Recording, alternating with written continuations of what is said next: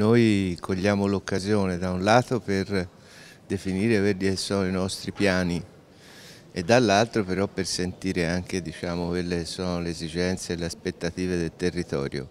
L'agenda digitale della Toscana è ricca di appuntamenti e così dopo Lucca, Prato e Grosseto, nell'ultima tappa prima della pausa estiva è arrivato il momento di Livorno e delle smart city del mare. L'obiettivo è avvicinare servizi ai cittadini e viceversa. Per questa ragione anche l'arcipelago è coinvolto nella prima fase del progetto che prevede entro un anno l'attivazione della banda ultralarga anche nei comuni delle isole, e Giglio comprese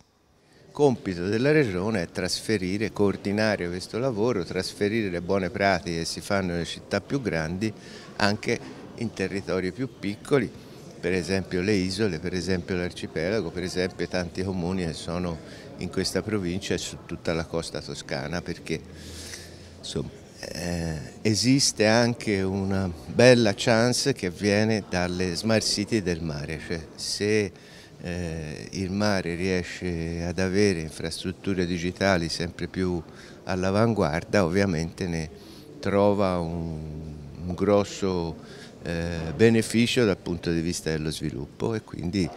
prima arriviamo anche rispetto alla concorrenza tra virgolette di altre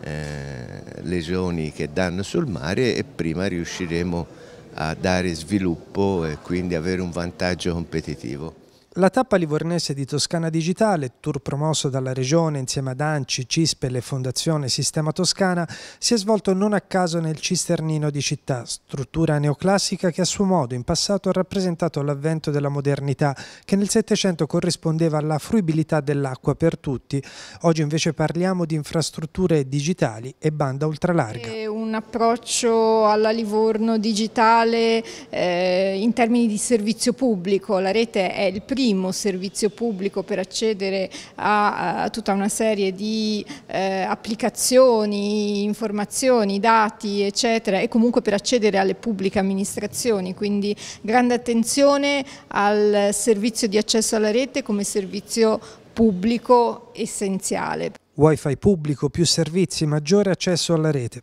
Ma la connessione per l'assessore livornese non è sufficiente, a suo dire particolare attenzione deve essere dedicata ai contenuti. Non si inizia dal contenitore, mai, mai più. Si, si parte dal contenuto, aggregare dati, aggregare informazioni. Abbiamo fatto un lavoro immenso di digitalizzazione degli archivi, anche grazie ai lavori di pubblica utilità che speriamo caldamente che siano eh, rinnovati su un bando prossimo della regione, abbiamo eh, messo insieme dati, aggregato banche dati, verificato i dati sia eh, per le nostre attività interne all'amministrazione attraverso per esempio il software Serpichino che è in uso al servizio dei tributi, sia anche attraverso il potenziamento del sistema informativo territoriale. L'informazione deve essere eh, georappresentata, deve essere resa pubblica, deve essere eh, eh, l'operazione vera di marketing territoriale che fa un comune.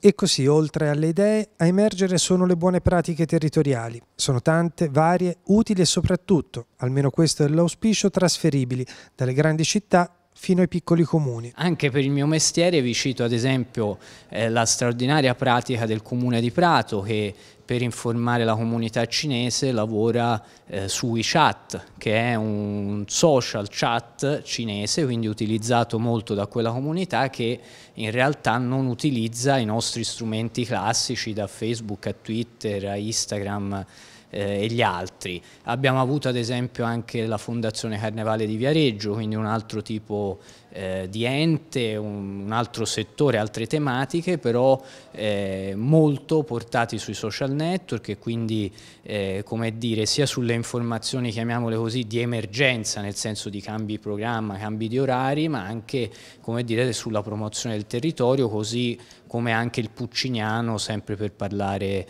di Lucca, sempre sul lato turistico, della promozione dei territori, del marketing territoriale che non significa solo turismo ma significa anche eh, economia e anche sociale, abbiamo trovato delle ottime pratiche in Maremma, tipo Love Maremma ed altre, anche la stessa Camera di Commercio eh, di Grosseto. Attorno alla nuova comunicazione c'è un gran movimento di idee, di pensieri, di progettualità. Questo tour serve anche a capire come migliorare non solo i servizi ma anche la qualità di vita dei cittadini e c'è un tema, quello della razionalizzazione, che va incontro a questo rinnovato obiettivo. Stati per tanti anni come pubbliche amministrazioni a lavorare ognuno nel proprio orticello e tutto questo è chiaro che comporta non solo un, diciamo, un peggior modo di lavorare all'interno delle pubbliche amministrazioni ma soprattutto questo si ripercuote soprattutto sui servizi ai cittadini, ai quali i cittadini spesso eh, vengono chieste informazioni che invece l'ente in qualche modo sa che magari andando verso chiedendo o all'ufficio accanto o all'ente accanto lo potrebbe trovare